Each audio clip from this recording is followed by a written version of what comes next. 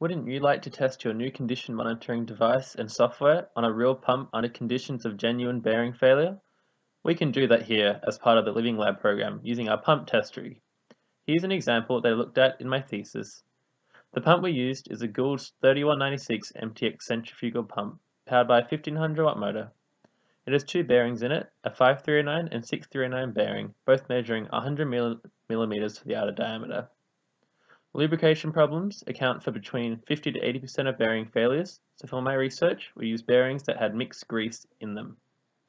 The temperature change for the mixed grease test showed that the thrust bearing, which had been packed with two different types of greases, rapidly rose in temperature in comparison to the radial bearing.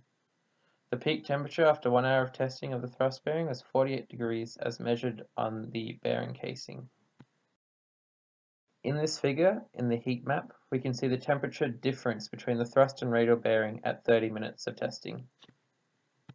Lastly, in this figure, we can see the vibration signature of the thrust bearing measured using a piezoelectric accelerometer.